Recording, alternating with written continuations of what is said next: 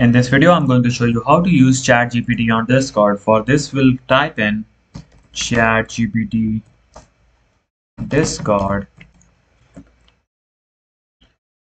Uh, and here we have this ChatGPT Discord bots for us. So we can log in on this ChatGPT Discord bot server by using our email and password for Discord and we can click here on login in order to get ChatGPT for Discord or there's another option. Uh, after you log into ChatGPT we'll get here the option for open with Discord. And after clicking here after after uh, logging in here we will have the option of get ChatGPT for Discord here uh, under the dark mode option.